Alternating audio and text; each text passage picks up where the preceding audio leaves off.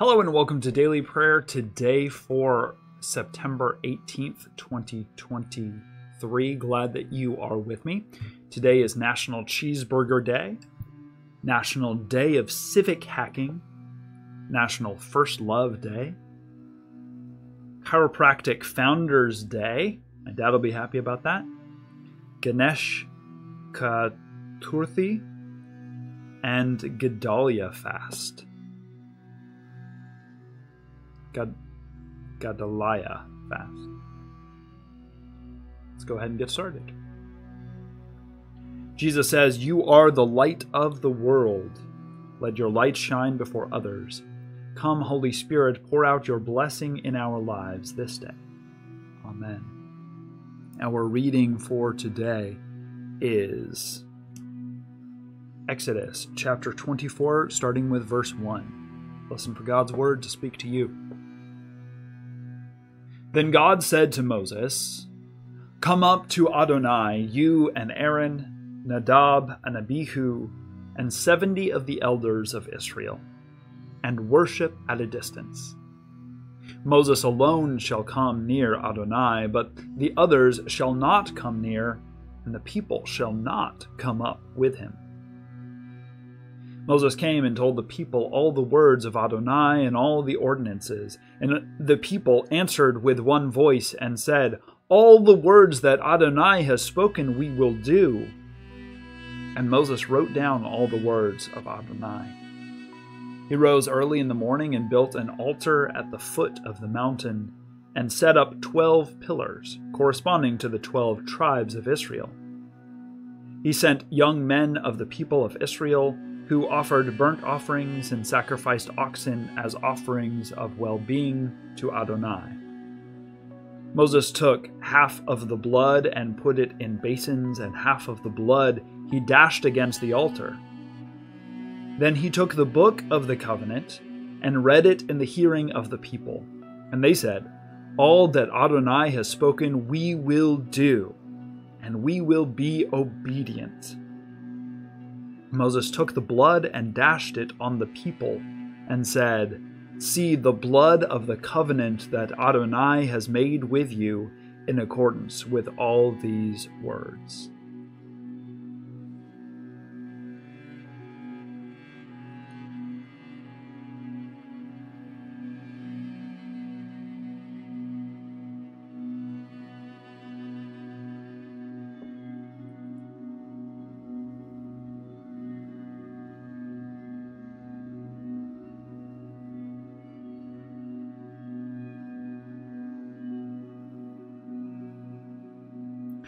The word of the Lord. Thanks be to God. So, God has now, we have the beginning of the law. So, just a reminder of sort of the larger context. The people have now been freed from enslavement to Egypt. They wandered through the wilderness for a little bit. In the wilderness of Sin, God has provided for them manna and water and meat they finally come to the uh, the mountain of God, Sinai, and God says, "Okay, I'm going to concert. I'm going to tell you what you're going to do, or I'm going to I'm going to let you know what you need to do, right? Because I want you to be a a priestly nation, a holy people. You're going to be sort of the ones who mediate on my behalf before all of humanity, making manifest sort of the, the promise that God made to Abraham that all the world would be blessed through him and his descendants. Okay. There was three days of consecration, and then God comes down upon the mountain, and there's thunder and lightning, very, very frightening. And God speaks to the Ten Commandments and the people flip out because it's really scary. So they send Moses, I think Aaron, and they go up on the mountain and they have now heard the rest of this law things about how to be just, how to be righteous. Um, we have heard about people who were enslaved. We've heard about um, taking someone's stuff, uh, whether that stuff might be their animal or it might be their daughter or whatever it is. How do you make restitution? All of these sorts of things, right? Now there's going to be a formal agreement.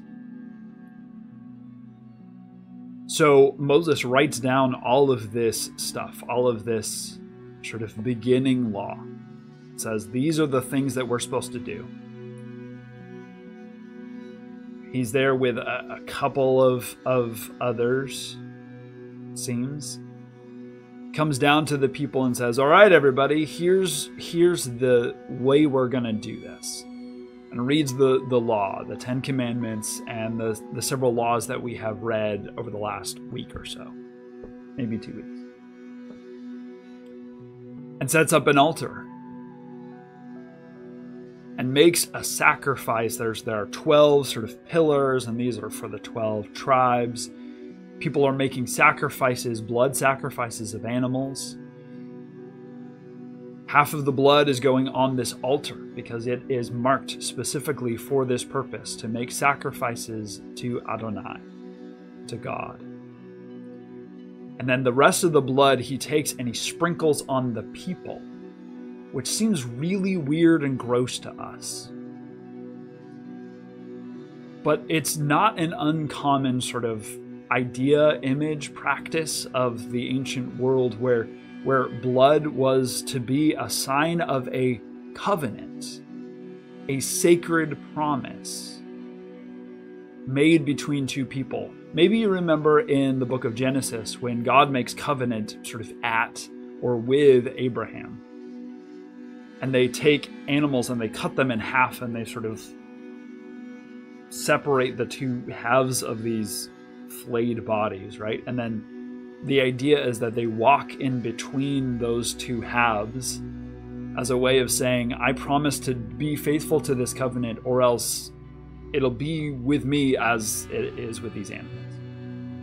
In that covenant, God alone went through the um, between the animals while Abraham had a quick nap.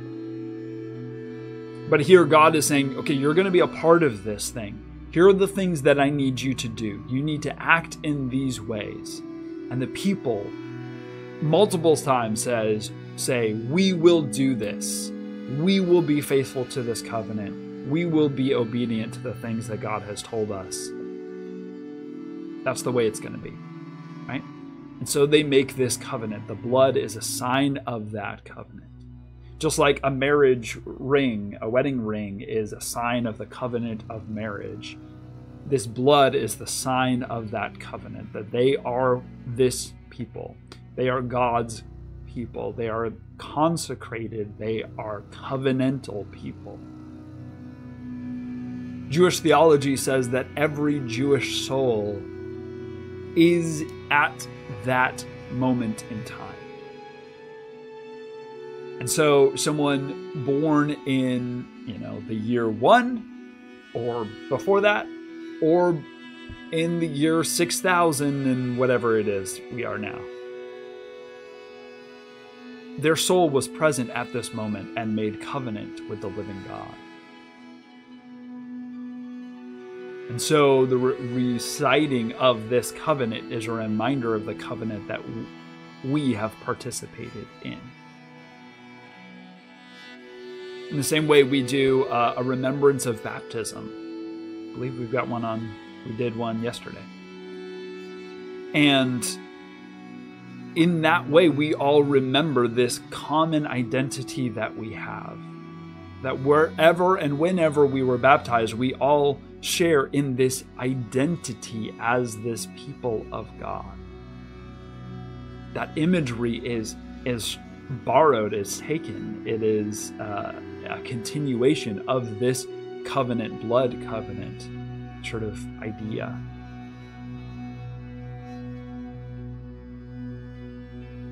there's a sacred promise that is made bef- between God and humanity in this particular chosen people, chosen to be the, the priests, the mediators between God and all of humanity. They're willing participants. They say, This is something that we will do. Um, and that's going to be important because there are ways that God deals with this people that are different, both positively and negatively, because of this covenant, because of this sacred promise between these people and their God. Our baptismal identity makes us different, not in the ways where we're better or, or sort of the negative ways that different works. But that we have a sacred identity, there's something that we share with one another, and it tells us something about who we are and whose we are. That we have been cleansed of our sin. And we are to share the good news that Jesus in Jesus, the, the righteousness of God has been revealed. To go and mediate between God and all of humanity. Our commitment is yes, we will do this thing. We will be faithful. Sometimes we're not. But we can always go back to this identity. We can always go back to the covenant. That God has marked us as God's very own. We are children of God. What does this identity mean to you? What does it mean to you that you have been baptized? What does it mean um, for these people to be the, the chosen, covenanted people, marked by blood? How do you live out your covenantal identity? How do you not? Take some time to meditate, to pray, to journal about these things. And when you're ready, we'll join our hearts together in prayer. Lord Jesus Christ, help us to recognize you when our neighbors say, I am present.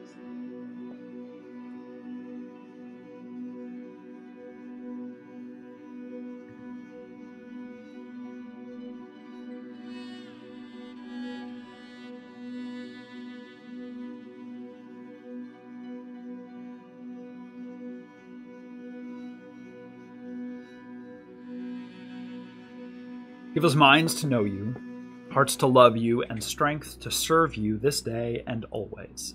Amen. We pray this day for the needs of our congregation and community.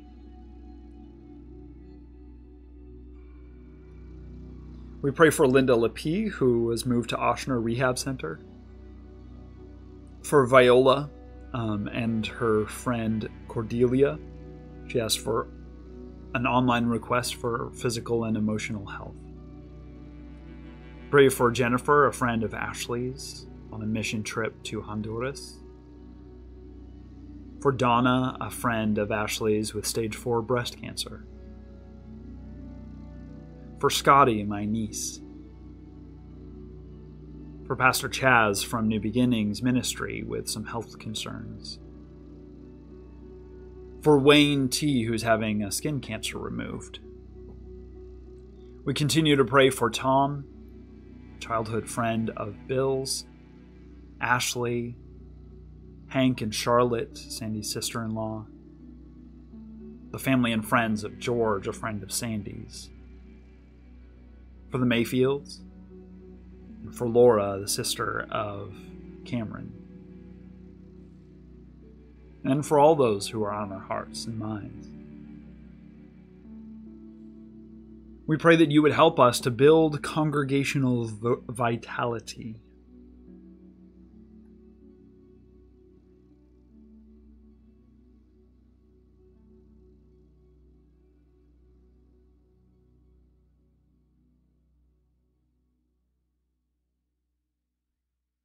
Dismantle structural racism.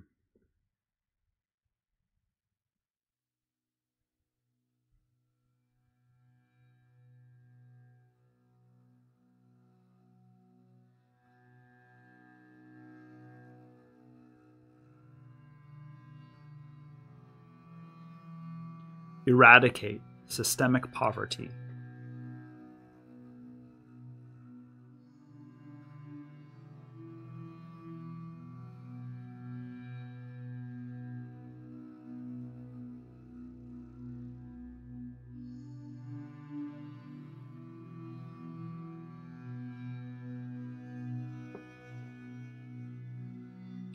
Lord Jesus Christ, we remember our neighbors and we ask ourselves, when did I recognize you?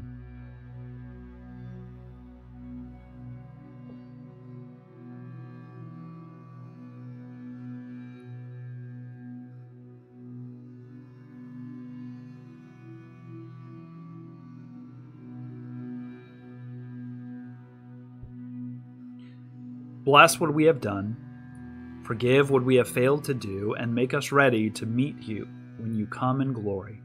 Amen. Now let us continue to pray using the words that Jesus taught us, saying, Our Father, who art in heaven, hallowed be thy name. Thy kingdom come, thy will be done on earth as it is in heaven. Give us this day our daily bread, and forgive us our debts, as we forgive our debtors. Lead us not into temptation, but deliver us from evil.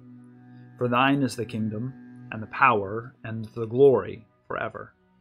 Amen. God is with us in Jesus Christ. Thanks be to God. Bless the Lord. The Lord's name be praised. Thank you so much for joining me today for daily prayer. Join me tomorrow for some more. Like this video, share it with someone else, click on the subscription and the notification button. Go to our website, johncalvinchurch.org, for more information. Our liturgy today came from the Book of Common Worship of the Presbyterian Church USA. Our reading came from the New Revised Standard Version of the Bible with my own little tweets. You can watch this daily prayer on YouTube. You can listen to it on Spotify or wherever you listen to podcasts. And you can, um, uh, yeah, get a daily email from Substack. Uh, just go ahead and sign up there, and that'll just send you the audio and the video version. Thanks for joining me. Have a blessed day. We'll see you next time.